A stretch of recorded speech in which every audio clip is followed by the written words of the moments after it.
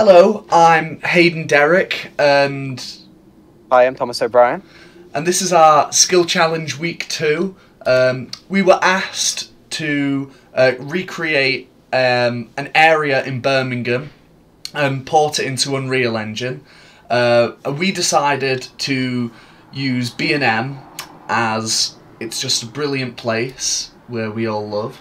Um, here are some reference images we used for the outside. Um, me and Tom went separately, took some photos that we used for textures and stuff. Uh, as you can see, the Cash Generators there, um, and as as you can see in the top right image, it's also there in the um, model. Everything's accurate as we wanted it to be. Um, here's the interior of uh, our game, which we decided to change up a little bit, uh, the inside to make it more game friendly. Um, uh, making of the models, we used textures that we grabbed ourselves and uh, created the model using the reference images. Uh, the gameplay is you go around the inside maze and collect milk, eggs, soup, and a flapjack. Um, once you've collected all of these items, you are able to go to the checkout and uh, exit the store, just like real life. Uh, this shows how we used modeling to create the models, texturing to texture them. We used blueprints for opening the doors and making all the objects float, uh, you know, the items you need to collect. Uh, we used UI by the use of Leon at the side telling us what items we need. Lighting, because it's all spectacularly lit.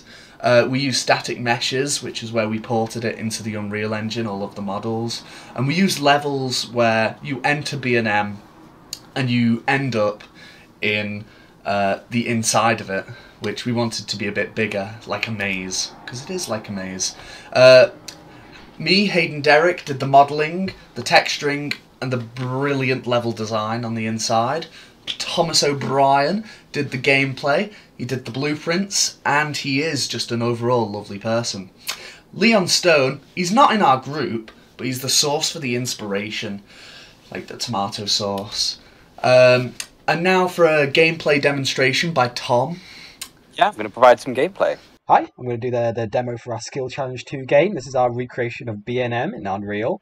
Uh, so yeah, right now we have our model we've used for the outside of B&M. So we've got a this was uh, made using reference images. We took pictures from around the actual B&M building and tried to make as close a representation as possible. So we're going to go in. See the, the, the door slide open for us. And uh, the gameplay part starts when we go in. We're transported to a maze, and we're given a shopping list on the side there. Our friend Leon is showing us the items we need. So we've got a sign here saying this is where we're going to get flapjacks from, so we follow this arrow. We will find uh, a nice floating flapjack, which we can pick up. We'll go in our inventory, and that'll, we, we, that, that's, that's it, checked off the list. So here we can see got more options to go to. I'm going to go get some milk first. So I'm going to go this way. See, our, our map is made up of store shelves to show yeah, that, that, that is B&M store shelves with images we've taken of the actual B&M stock put on them.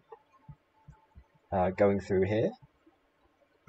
But yeah, we've got uh, the, we've got UI here on the side showing the shopping list. That was done using a uh, an image plate attached to the camera, uh, which we put a transparent image of just our shopping list in the corner there.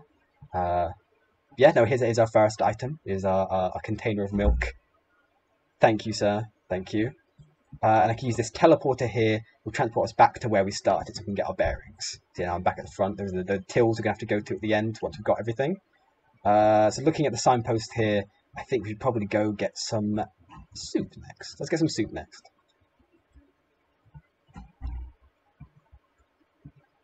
Yeah, we've got uh, made sure that uh, you, I have a, a spotlight attached to my character right now to make sure the UI is always uh, lit, so that you can always see what you need to get. I might get lost in this maze here. I can't go through there. small hint is that you can jump, and if you see light, that's where the next item is. But you can see there's our can of soup. This was a textured, or it was made in Maya and then textured with an outside uh, image. So I can teleport to one more time. Uh, and then it said the eggs would be down this way, so I'm going to take the path down this way. Might get lost again. No, I think I know where I am. Yeah, there they are. Once we collect this last object, that will uh, all, all of the, uh, the the the triggers will be set for like all, all the items being uh, being got, and that will open up the teleporters to go back home. If I head back to the checkouts, I can find my way. Yep, these have all lit up, allow us to leave B&M.